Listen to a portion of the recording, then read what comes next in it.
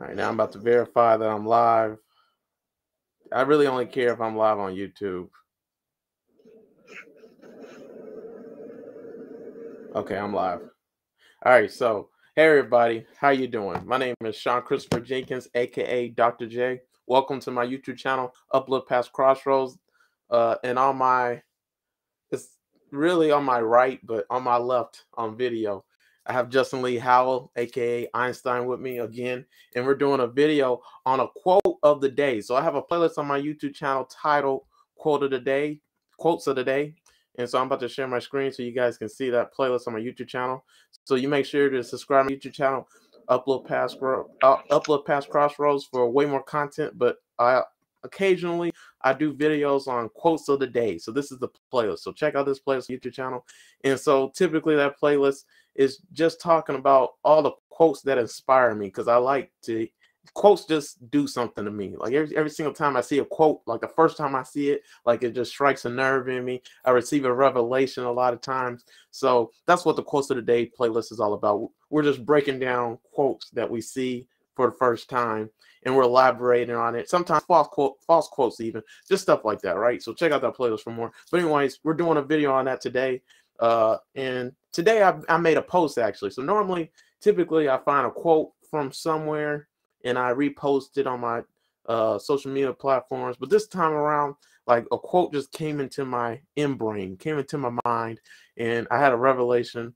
And I was just, I said this quote in my head. So I want you guys to see it. Some people had questions about it today on my on my Facebook page and my Twitter. So I want to go ahead and do a video on it. So here goes the quote. So if you make sure to also follow me on Twitter right here. So trouble don't last.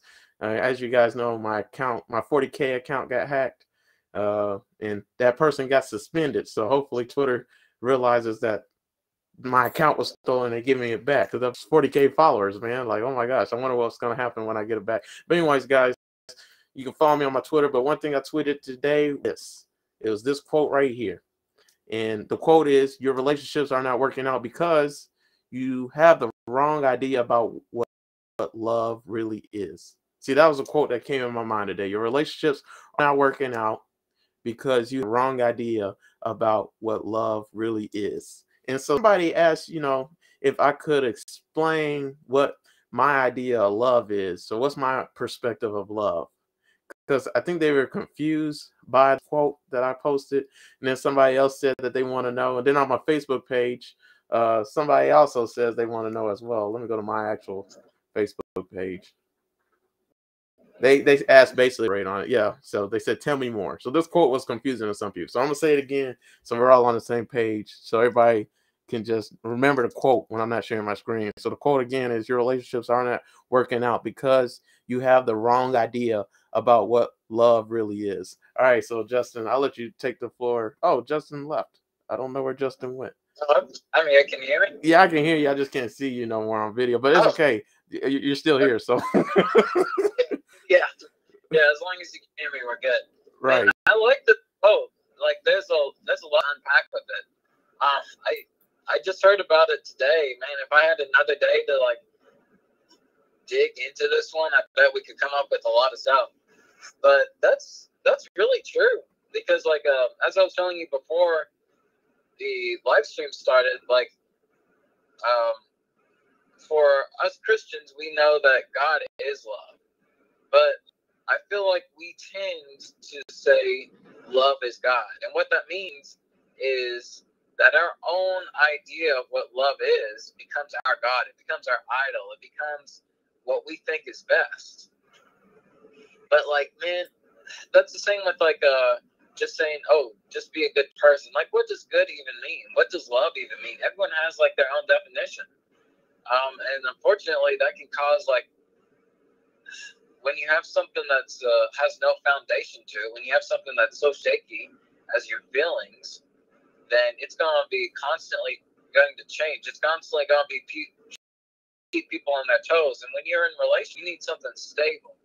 Like that's why that's why Paul was saying to the Corinthians, like build your foundation on something that lasts. Don't build it on something that's going to burn or disappear um, after a generation or two, but build it something that lasts. And that's why we say God is love.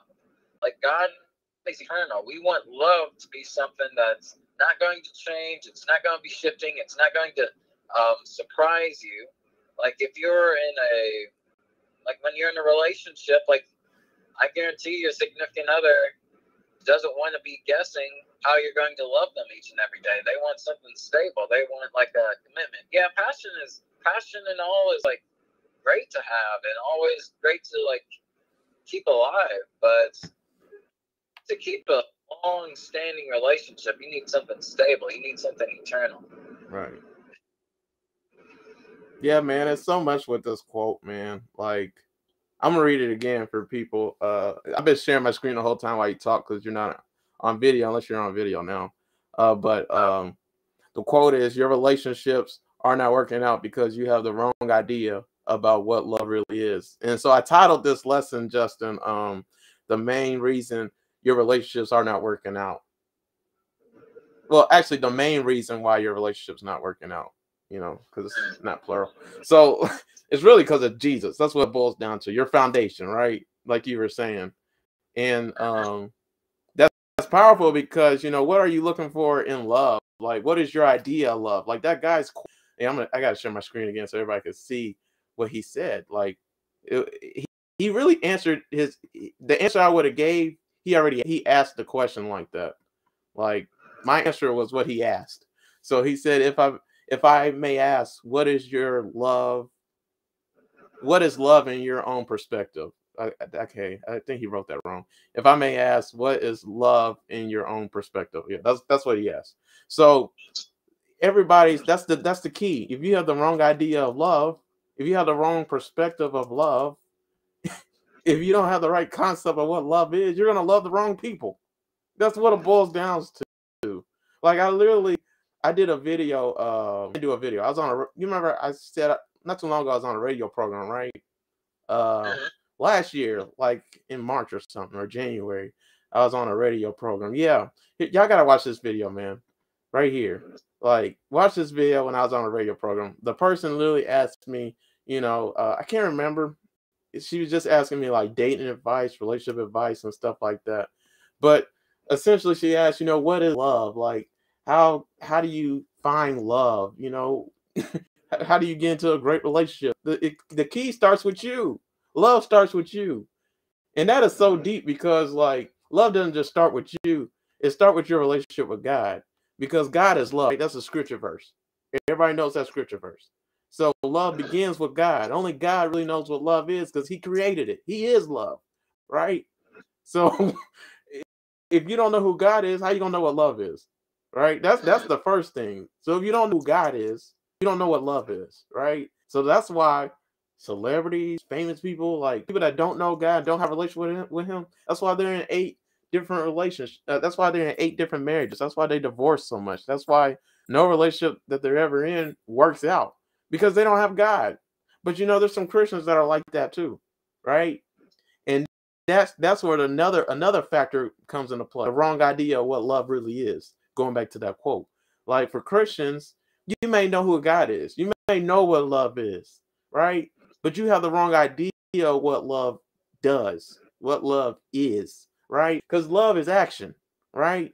So uh a lot of that's so deep too, because like it, is, yeah. it's a double-edged sword, right? Like you you can't your love need to be unconditional, right? But it can't be too I won't say it can't be too unconditional, I'm just saying some people don't deserve your love, right? So you gotta know when you're wasting your time, and you gotta know when uh, uh when to cut ties with somebody, you know, or when somebody's not worth your, you know, where somebody just abuses your value, abuses your worth.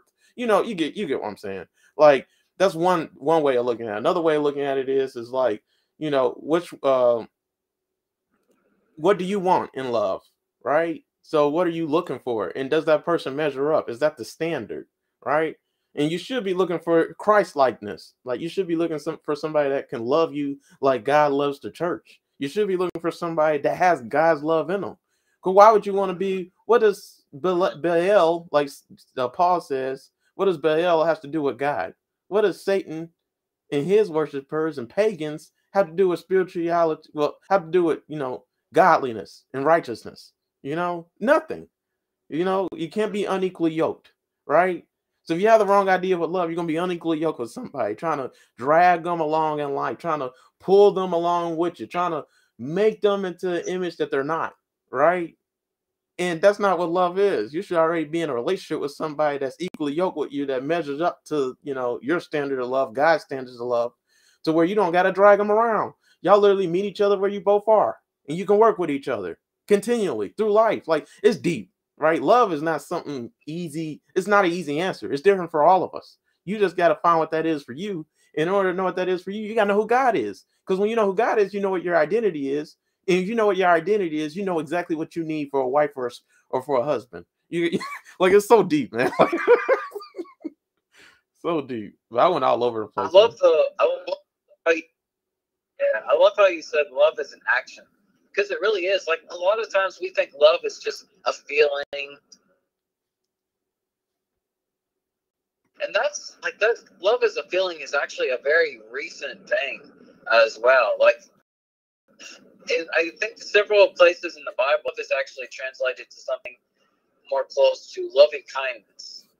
Like you almost a choice to love someone. If someone like the Bible is all about forgiveness, but you don't just forgive somebody; you make the choice to forgive.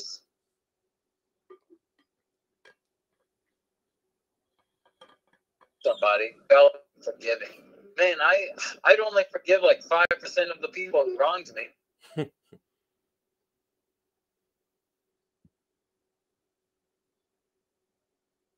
I have to wake up every day to choose to love my family or choose to love my uh, fiance. It's not that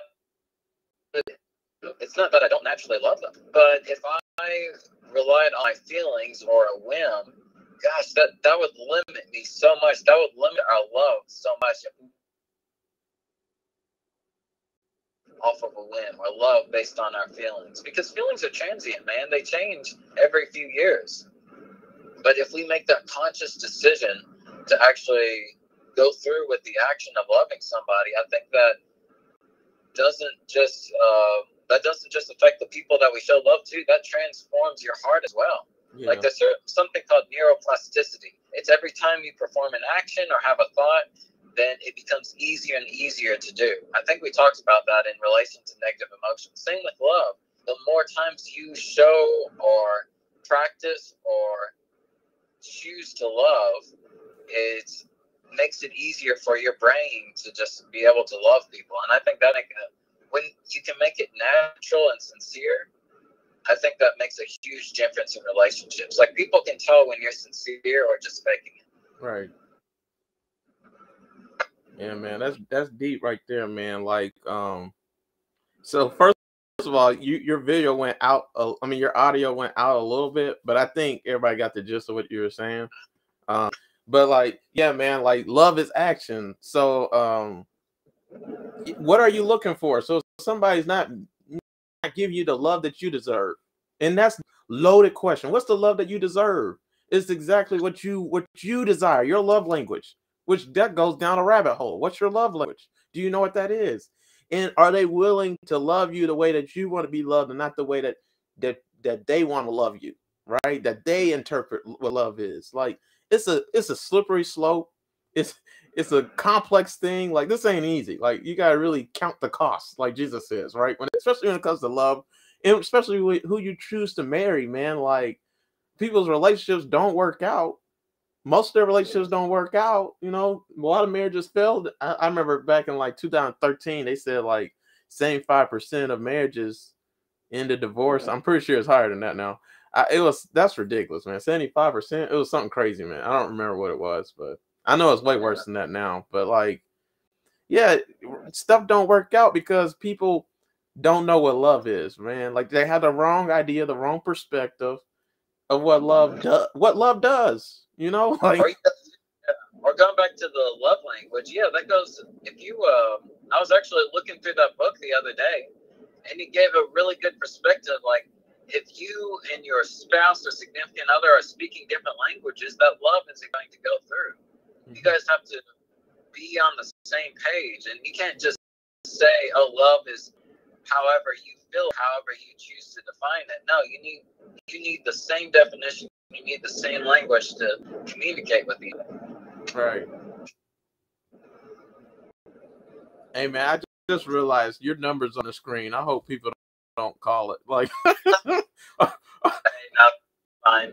You'll you'll end up blocking it, right? If it's too weird. Yeah. I, man, I already get so much junk email. It's fine. Okay, cool. Like I, I just realized it, man. I was like, man, that is awful. Like when my YouTube channel does blow up and where this video causes it to blow up, like, oh my gosh. Uh, man, if people want to talk more about Jesus or love, I'd be fine with that. Just call me. Yeah.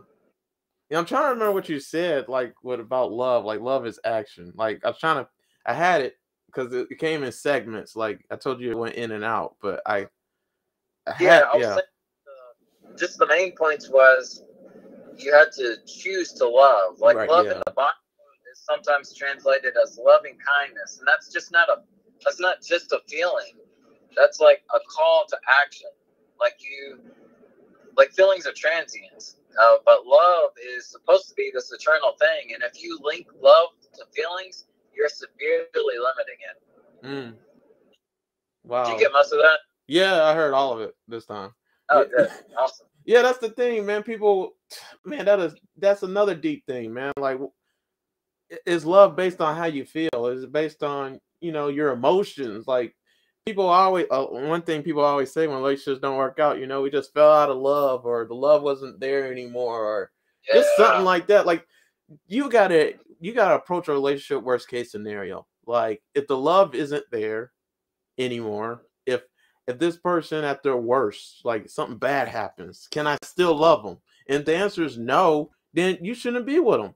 You know, like it's that simple. Like, why would you make a commitment and a vow to God? If we're I'm talking about marriage, right? Make why would you make a vow to God into your family, into their family, to the whole world, saying, I'm gonna love this person until death do us part, and you don't really mean it, right? So yeah, like because you fell out of love, like you know, I can only imagine how God feels sometimes with us. Like you know, we're going through Isaiah uh 49, right?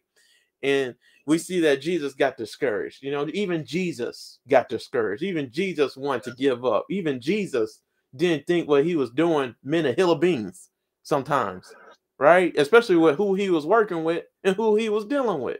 Because the disciples failed him from time to time. But did he stop loving them? Like, and that's Jesus. Like, right? Eh, it, that's his disciples. Imagine he had a wife.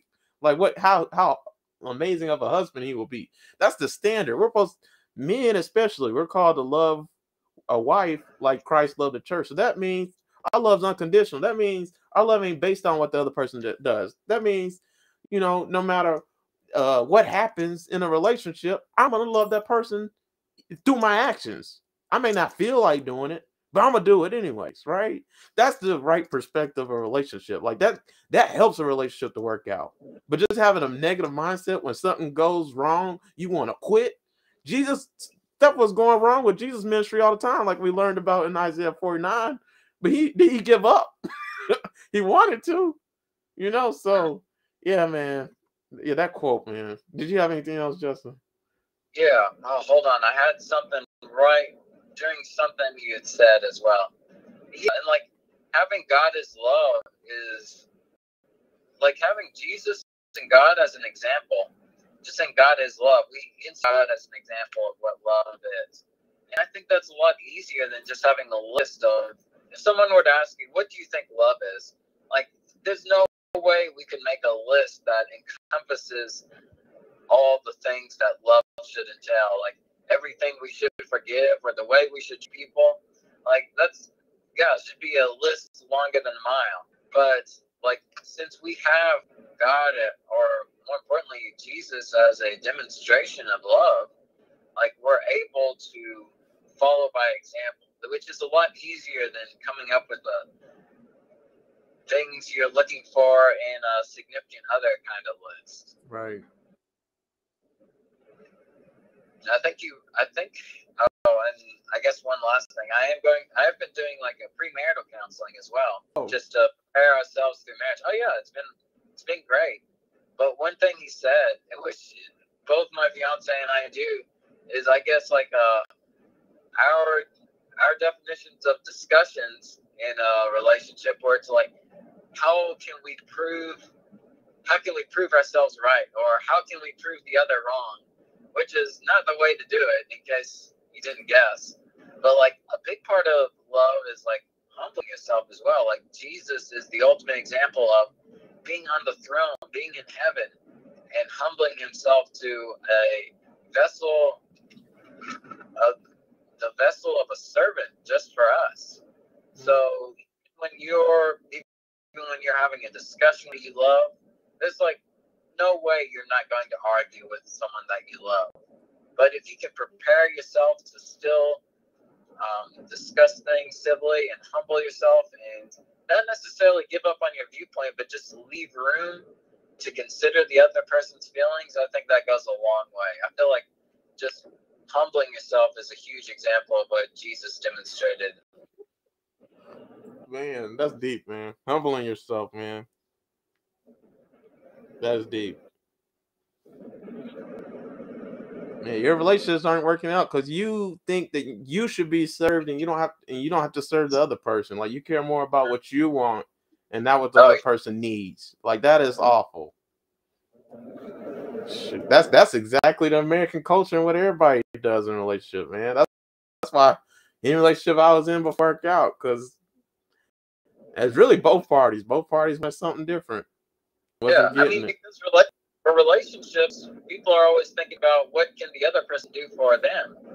Like, what can what can my fiance do for me, or how is this re- relationship going to benefit benefit me? That's the wrong way to think about because suddenly your desires are entering in the picture. Which, not to say it's bad to have desires, but if it's centered on yourself that's gonna that's gonna open up a huge can of worms or a huge huge list of flesh, fleshy desires. But if you're concentrating on somebody else, if you're focused on the happiness or the joy of somebody else, I think that's where God, I think that's the place God wants you to be. Suddenly, your mindset is where God wants you to be. Because think about it, the Trinity is a relationship in itself. It's God the Father and the Holy Spirit. Like the just the facts that they all correspond with each other. If we're an image of God, that means we have the capacity of being in a relationship with other people and concentrating on other people.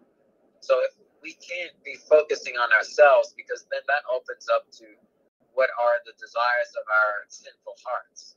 If you are going into marriage with the mindset of I want this person to be I want this other person to be happy, suddenly your desires shift to where God wants you to be. Mm. Now that was that was way more wordy than I was enough. Nah, man, you're good, man. That's what we need. All right, so I'm gonna say the quote again. I want to see if you have anything else you want to add. So, your relationships are not working out because you have the wrong idea about what love really is. So I you, think sometimes relationships don't. I think relationships are just hard in general too. Like even if you do have an idea of what love is, you should know that sometimes relationships are just not going to work out very well or going to go through like a dry chapter. Right. But that's that's also a part of love though is that you recognize that we're all broken people we're not going to be on the same page right away mm-hmm. so even knowing what love is knowing what god who god is isn't going to be a quick fix it's going to take a lot of work Mm-mm-mm. man you preaching now man I, I kind of like yeah I kind of like doing the uh yeah I kind of like hearing the quote just minutes before we started talking because now it's just naturally speaking instead of like trying to come up with all these notes. So yeah, this this was a, I like that quote though. That was a good quote. I'm glad you liked it. Like guys, like when I did that quote, first of all, the quote right here, uh, what this video is all about. Your relationships are not working out because you have the wrong idea about what love really is. Like at first, when I before I even posted it, I knew like this was a complex quote. Like it came in my spirit I this is literally my quote, like I got from God. Like I felt like it, it was just you know how your brain just be working and quotes just come in your brain sometimes, like powerful, profound things. And this is what came in my brain. And like when I said it to myself, I was like, yeah, man, that's deep. But then when I posted it, right after I posted, it, I saw this guy just immediately write that question down. And then the other guy on my Facebook page, he asked a question like, tell me more. Like, so I was like, dang, is what I said complicated? Like, is it too, you know, is this dumb? Is it false? Like, because I mean, you could look at it in a negative way. You know, your relationships are not working out because you have the wrong idea about what love really is. Like, what? That's why relationships don't work out? No, it's not. But I mean, if you look at the root, I feel like if you just go to the root cause, that's what it boils down to. Because half of the people we date and we end up in relationships with, you know, we shouldn't be with to begin with. We're literally wasting our time. You know, so yeah, like so when I when I when I came in my, you know, when I had that revelation, I really thought like, yeah, man, like that that quote's dope, but I just feel like a lot, it went over a lot of people's heads. So I think, uh, yeah, I think it's a good quote. I I think it is good to dig into it though, because not everyone may know what uh what love is exactly. Because man, we've been we've been bombarded with so much media that tells us how relationships should go or what love is. Man, we have to unlearn that. I don't blame those guys for asking because like it really is a mystery to today's culture. Right. Hey man, the Bible and God's a mystery too. That's what they need to figure out. That's that's what man, that's where love is. hey, that's true too. Even if you know who God is and you spend every day in the Bible, like relationships are still gonna be a lot of work. Yeah, and that that leads to something else. You know, I always tend to say it, so you'll probably get annoyed, but like, like Genesis two eighteen is one of my favorite Bible. Before I was with Maya, this Bible verse was on my wall, and it just touched me so much. I'm gonna read different Bible versions just so everybody can get it. But I'm gonna start with the King James. And the Lord said, and the Lord God said, It is not good that a man should be alone. I will make him a helpmate for him. He also said, I will make him a suitable helper. I will make him a person who's uh, just right for him, who's suitable for him, right? Who complements him, who's comparable to him, who's corresponding to him, who complements him. Like these are the different versions, man. A suitable partner. Like that is so powerful. Like your relationships aren't working out because you you have the wrong puzzle piece. You're trying to fit a puzzle piece that's not meant to be there, right? Literally, we just saw in Genesis 2:18. Like one of God's promises is, you know, it's not good for a man to be alone. If you're called to be with somebody, if you're called to be in a relationship, because me and Justin did a video on that in First Corinthians 7. Like, y'all just check out that playlist on my YouTube channel. I'm not gonna show it right now. But First Corinthians chapter 7, we talked about that. And Paul said, you know, some people are called to be single, some people are called to be in a relationship, right? Everybody's different. You don't have to marry somebody if you don't want to be with somebody. But that don't mean you can go having sex with people, right? And ruining their lives. That's another reason why relationships aren't working out because you're you're with people who have the wrong motives and intentions and don't really care to be in a relationship with you. Like what happened with sad old Michael B. Jordan. Michael B, if you're listening, man, I love you, brother. Like Justin, did you hear what happened with Michael B. Jordan? No, what happened? Oh no, I like Michael B. Jordan. Did something bad happen? Well, uh Lori Harvey, so Steve Harvey's uh daughter was dating him. Okay. I, I think she dated yeah. him for like a year. Yeah. And you know, he's like 34 or something, 33, 35, something like that. So he's he's about time, he's about ready to wind down. And Lori Harvey's 25. So just that alone, like the age gap. yeah. And, pretty, yeah. Yeah, and a little bit. I should so, so show some memes like Maya. Maya, are you listening? Maya, yeah, she's listening. Text me the memes that I sent to you. Text me all the memes that I sent to you on Facebook so I can show everybody on video. But like, yeah, Justin, uh, there are so many memes and people have been talking about it online like crazy, just about how like they feel they uh either on Lori Harvey's side or they're on Michael B's side. Oh, okay. I, I, okay, that's interesting. I can see both sides. Yeah. So, okay. so like Lori Harvey, she's 25, right? So like some people yeah. think like she should be. She's 25. She don't have to settle down for nothing. She needs to have fun, live it up while she's young, you know, and all that stuff. But then other people are like, man, it's Michael B. Like he has a job, he's black, he's handsome, he look good, he you know, he's a role model, like he's all these things, right? Like, and so like that's like the perfect catch. And you're like letting it go. Like and then you know how some women are like, man, this is what I want in a relationship. I want, you know, I want that kind of yeah, you you finna say something? Yeah, just because he's 34 doesn't mean he can't have fun too. and no, no, no, maybe who knows? Maybe Lori is just uh, maybe she just wants a good stable man. It, it's, it's yeah, whatever, knows? Whatever work, whatever works for them. I don't judge them. They do what they want. If they can make it work it out. Yeah. I, I love Steve Harvey and I love Michael B. Jordan. So I don't know. If you put them, put the two together, even if it is his daughter, I kind of like that. Mm-hmm. Yeah. yeah, send me. So I'm curious on what people have to say about it. Man, yeah, they're going crazy, man. Like, you know, the women that want to have fun and play around, they're they're all on Lori Harvey side. Everybody else that's like actually cares for relationships, they're on Michael B's side. So it, it's getting uh, ugly, man. But like, yeah, that goes back to the quote, man. That goes literally back to the quote of this whole entire video, man. Your relationships are not working out because you have the wrong idea about what love really is. And like that goes back to even Michael B's situation. Like, I don't know the situation. Nobody knows the situation better than he does. And you know, even when you're in a relationship, when it just when it's fresh and you just break up, you still trying to figure out what happened. Well, yeah, that's true.